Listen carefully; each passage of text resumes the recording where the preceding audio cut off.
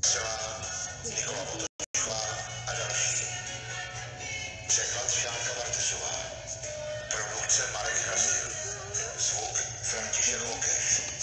Úprava dialogů Klára Sochorová. Režie českého znění Michal Michálek. České znění vyrobilo studio Virtual v roce 2009.